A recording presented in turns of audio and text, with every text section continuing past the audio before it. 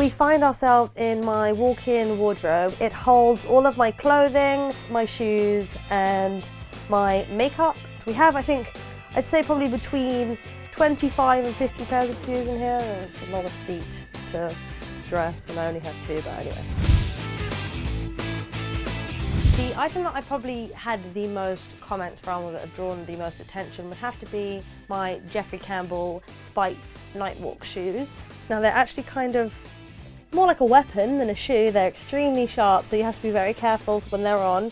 I think if I saw somebody else wearing these and I'd never seen them before, I'd have to give them a bit of a comment because they are pretty cool shoes. They're just great. They're like my own Gaga shoes. My oldest item in my wardrobe, I think, would most likely have to be these trainers. They are Nike Dunks. And I got them in the States about, I think, probably six years ago. These were actually kids' shoes and I just liked them so much that I got them in the biggest size possible, which happened to be my size. So my next item is an item that I thought I might wear, but turns out no. And it is this River Island dress. And you may have now realised why, I'm not too sure if I'm going to wear it, but I bought this originally when I was going to Vegas and it was like my birthday thing and we kind of went for the whole like, woo, Vegas, you know, party land, whatever. I don't know where I'm ever going to wear this here in, in England. I mean, unless it's like maybe like a circus themed party or something. It was actually a hand-me-down from my mum and it's this Hermes Kelly bag. I know Birkins, right? Birkins cost from like £10,000 upwards. And they're bigger than these, but they're Hermes. It's just timeless and it smells old. It's just, it's really cool. Like I'm really chuffed to have this in my wardrobe. It's such a cool piece to have and it goes with everything. So thank you, Mum.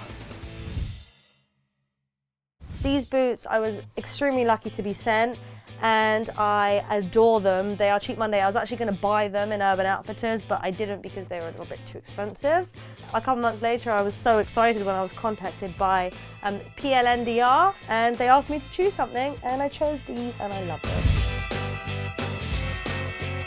My best ever vintage find would have to be this little bag that I picked up recently when I was wandering the streets of Brick Lane.